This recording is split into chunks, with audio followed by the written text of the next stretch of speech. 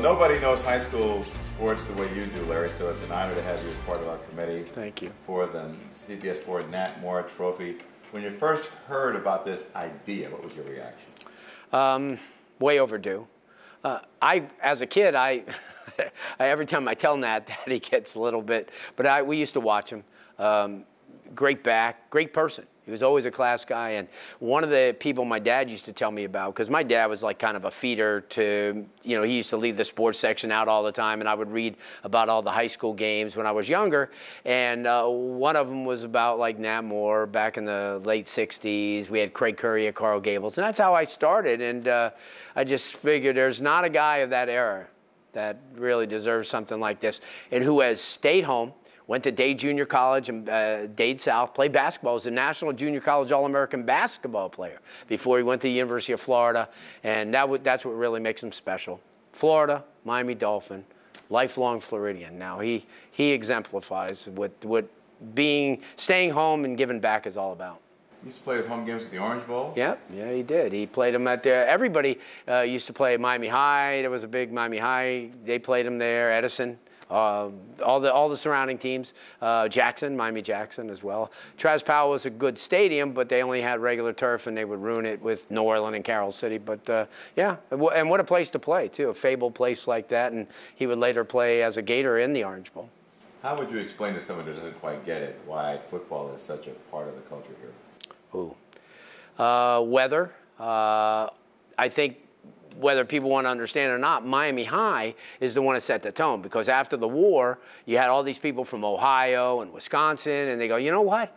I'm staying here. This is great weather. So that's what happened. Shenandoah, which is a, a, swath that goes from the port of Miami down through Miami High, was the first area, and it just grew from there. People would see the benefits of year-round football, and, and back in the 20s, from 1927 to 1953, um, Miami High won 17 mythical national championships. No one would play them.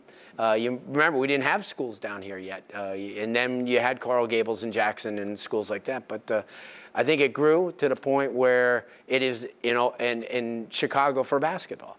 Uh, there were 52 schools that made it past the second round in Chicago that were deemed inner city schools in basketball, only five in football. So it shows you that Miami's that area where every other place in the country is living off of the outskirts in the suburbs, where Dade County and Broward County, some of their best teams are inner city, quote unquote, inner city from Booker T, Washington, the, you know, Carol City, Northwestern, Central.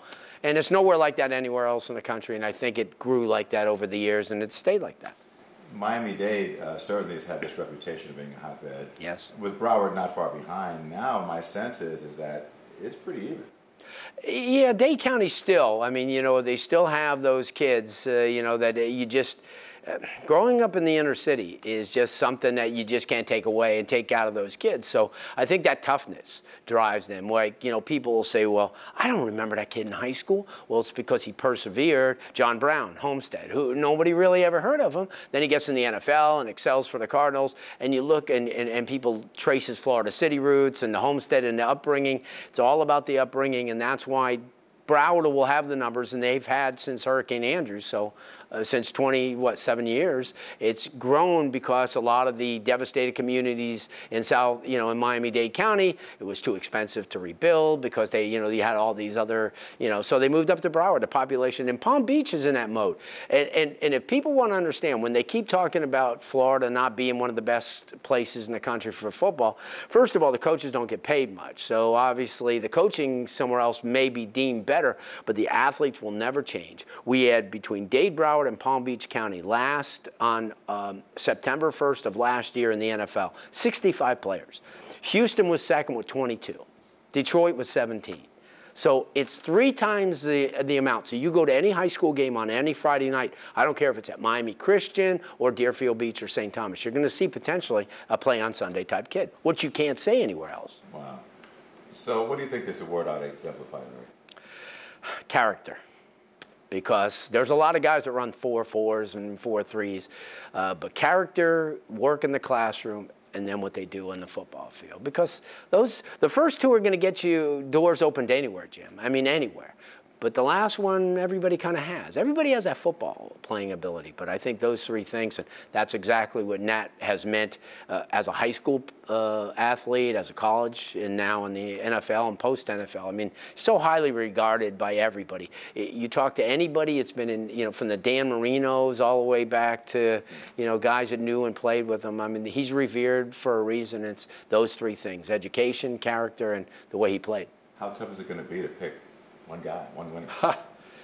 How tough is it sometimes to pick the Heisman? You know, there's a lot of guys that go in as a favorite, but you see a lot of kids that have attributes. And, you know, because he may have scored 10 touchdowns this year and the other kid five, he had a 4.3 grade point average, and all his teachers, uh, whenever you talk about him, they glow.